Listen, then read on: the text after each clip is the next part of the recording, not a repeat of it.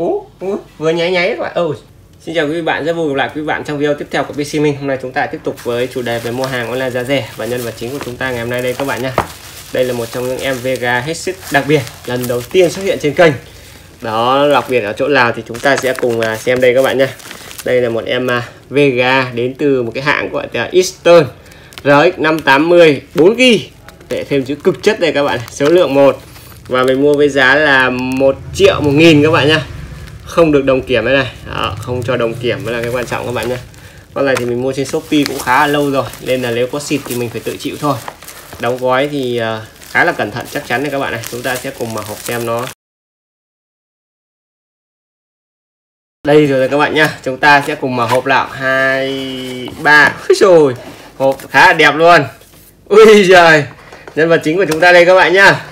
Đó Radeon này RX. 500 series. À, tem uh, siêu tem siếc ở phía dưới không thấy đâu cả. Thấy có một tem này chắc là tem của bên bán hàng thôi. Ghi rõ này.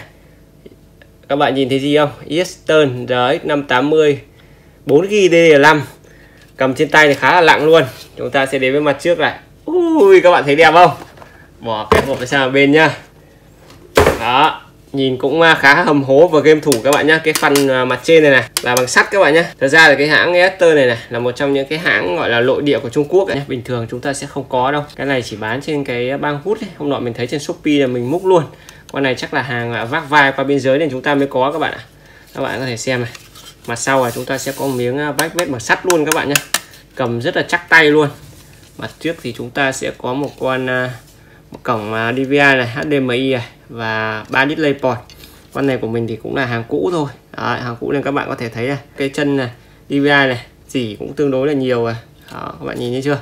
Còn cái miếng chắn này nó làm bằng à, thép ấy mà chưa thấy có gì nhiều.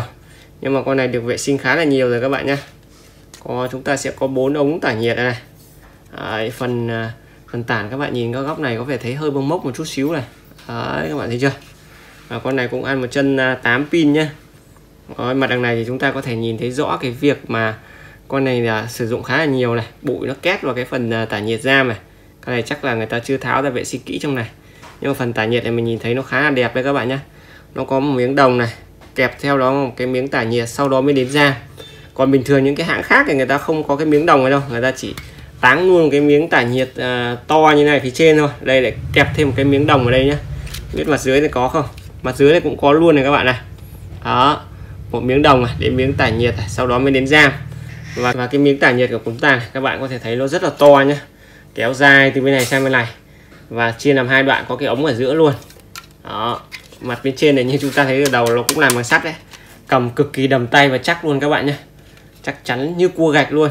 Và con này thì mình mua có khá lâu mình vứt đây rồi. Chúng ta lại không xem được cái mặt sau vì nó vướng cái bách vết này nên không biết là bên trong có cây ải gì không và liệu nó có chạy được không? Vì mình để cũng khá là lâu rồi nên là không thể ăn vạ shopee đâu. Nếu mà xèo thì chắc là chỉ có liên hệ với bên bán hàng để xem có hỗ trợ được không thì thôi. Còn nếu chạy được thì không biết cũng hiệu năng của nó có ngang với những con 580 chúng ta đã từng test không? Vì đây là hàng nội địa Trung Quốc các bạn nhé Jester này. Đấy, tiếng tàu này. Đó. trông thì rất là đẹp gamer nhưng mà không biết là liệu hiệu năng là gì nào thì chúng ta sẽ chuyển xuống dưới kia lắp thử để xem nó có lên được không và nếu lên được thì hiệu năng của nó có ngon hay không các bạn nhé. Các bạn chờ một lát.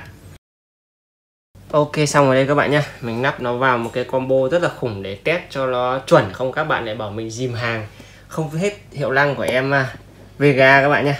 Combo khủng này là gì thì lát chúng ta xem sau. Bây giờ chúng ta sẽ bật thử xem nó có chạy được không. Hai ba. Chạy rồi đấy. Ú. Ngắt luôn này các bạn này. À, Chạy rồi, lên không? Im mắng chưa thấy gì các bạn ạ. Chưa thấy gì cả. Lên không? Bàn phím vẫn đèn gì, không thấy đâu cả. Oh, thật thấy đùa đấy. Không lên gì các bạn ơi. Bàn phím cũng không lên này. À ôi ôi ui lên. Ui rồi ôi. Ôi giờ lên rồi các bạn nhá lại cứ tưởng không lên cơ. Vai hàng. Lên rồi lên rồi. Đó bây giờ chúng ta sẽ chờ một lát nhá để mình à, lắp ổ cứng vào thì chúng ta test thử xem là cái hiệu năng của con này nó sẽ như thế nào nhá. Cứ tưởng không lên cơ. Ok các bạn nhé, em nó đã nhận và chạy được win rồi. Mình cũng đã tải xong driver rồi Tải luôn cả GBUZ rồi. Để xem nó có nhận được driver và đúng là con giấy 580 không các bạn nhé Hay là lại là ăn hàng fake. Dù con này nó là hàng nội địa thì mình thấy nó khá là đắt đấy Nhưng mà chúng ta cứ phải kiểm tra cho chắc ăn nhé Ú. Ú, vừa nháy nháy các bạn. Ơi lên hình rồi các bạn ạ. Nhưng mà hình vẫn to kìa. Chưa chưa chưa về đúng độ phân giải rồi. Vừa nháy quả cái tưởng xèo cơ.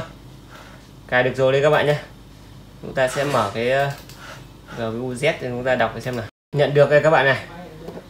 RX 580 này, series này. Nhưng mà nó không ra tên tên là gì luôn các bạn này. Nó chỉ ra 4 GB DDR5 thôi. Không ra được tên ờ, của về hãng Vega là gì cả. Đó. Thôi chúng ta sẽ xem là nó có chỉnh được đúng độ phân giải không các bạn nhé. Không nhìn thấy tên hãng ở đâu cả, Nó chỉ ghi là AMD AT thôi.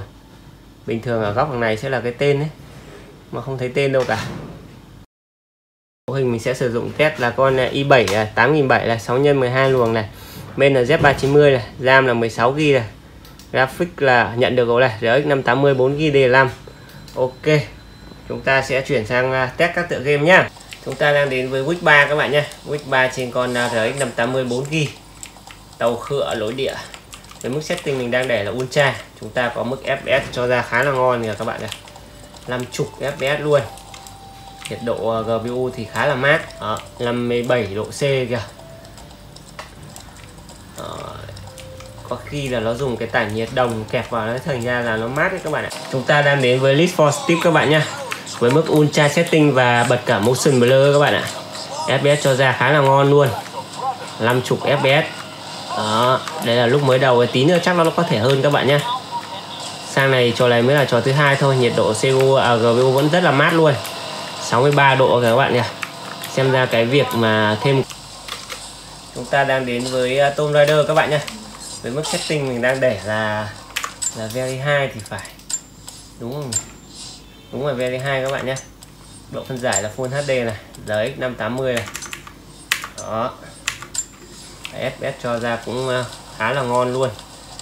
40 50 FPS mà nhiệt độ ngon quá các bạn, hôm nay thì thời tiết vẫn nóng lắm chúng ta đang đến với GTA 5 các bạn nhé với mức setting mình để là mắc hết đấy chỉ có một cái uh, một cái này này. Cái gì nhỉ? Cái uh, cái MSAA này là mình không bờ không bật thôi. Mà RAM của chúng ta ăn 3 ghi mấy rồi. Đó chúng ta đang có mức FPS chỉ khoảng 50 kìa. Các bạn mà để VR2 bình thường thì FPS nó còn cao nữa các bạn nhé chơi rất là mượt mà luôn. Đó. làm mấy FPS và nhiệt, nhiệt độ con GPU này mát quá các bạn ạ nó như bọn gần. chúng ta đang đến với Battlefield 5 các bạn nhé với mức setting mình cũng để là Ultra đây các bạn ạ. Ultra với mức FPS cho ra khoảng 50 50 và chơi uh, Battlefield 5 thì quá là ngon rồi. Độ phân giải là Full HD luôn. Xông lệ xông lệ xông lệ xông lệ. Uh, này không đẹp à? Con hàng này. Chúng ta đang đến với Asansi các bạn nhé À, Asansi với mức setting setting setting là gì? Đấy, setting đây. Setting là very high luôn các bạn nhé very high và độ phân giải là Full HD FPS cho ra thì cũng rất là ngon luôn. 450 FPS luôn. Game này tiết tấu nhẹ. À, 450 FPS thì quá là ngon rồi. Sẽ hoạt động 100% mà nhiệt độ phê thật các bạn ạ. Không ngờ lại con à, 580 của tàu khựa làm cái phần làm mát này ngon quá chưa chạm ngưỡng 70 độ luôn.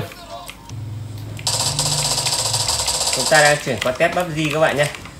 Bắp PUBG với mức ờ, setting mình đang để là ve lâu độ phân giải là Full HD đó. Vào trong ờ, à, khói khung này có vẻ bị tụt FPS khá là nhiều luôn số bốn mấy ấy chúng ta quay lại thử một phát nữa nha đó Và khói cái tụt xuống còn hai chục à. Rồi. Đó. chạy ra một cái thì lại vọt lên mặc dù chúng ta đang để ở ve lâu luôn. Chứng tỏ là con này uh, còn à, kì chơi nhiều hiệu ứng nghe nghe chừng không ngon lắm các bạn nhé. Hơi có tí khói thôi một phát là tụt xuống còn khoảng ba mấy thôi. Tất cả các trò trước mình test đều rất là ok. Chỉ có sang đây là thấy có vẻ hơi bị đuối đuối một chút xíu. Ui, ui, ui, ui cái gì đấy à, nói chung là đến thời điểm hiện tại thì em này à, nói chung đến thời điểm hiện tại thì em này đáp ứng khá là tốt về cái phần nhiệt độ các bạn này đấy có mỗi cái trò này nó chạm ngưỡng 72 độ thôi còn những trò khác rất là mát và hiệu năng thì mình thấy nó cũng xem xem như những con lan 580 khác.